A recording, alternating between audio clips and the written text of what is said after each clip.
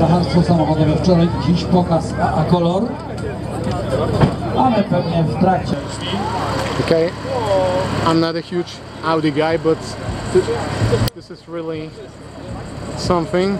At first glance, I thought it was a RS7, but the owner told me that's a regular A7 3.0 supercharged.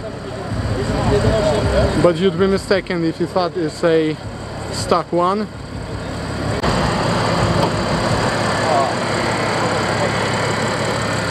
Okay, as I was told, the engine has been completely rebuilt as it's a 3 liter supercharged TFSI engine, but the owner has changed the pulley on the supercharger, injectors, rebuilt the heads. The heat exchanger is totally custom.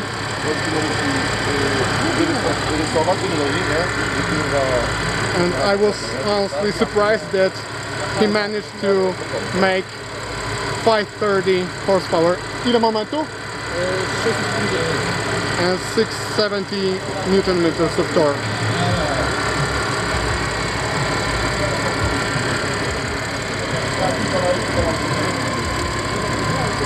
Those supercharged liters are really something. Actually, I wasn't expected that much.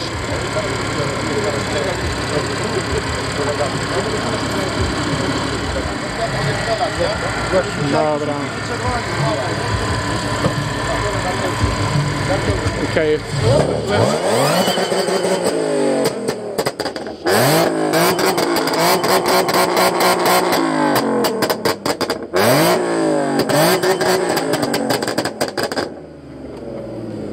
Okay. Responsible for this mess is this guy over here. If you want to follow him on socials, it's Jest Piotr Szeliga, Instagram Szeli Aesthetic. okay. I'll Follow put the my links in the description because I'm I'm not following.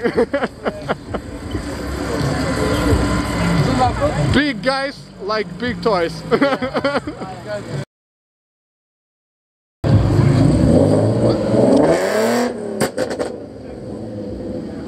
Keep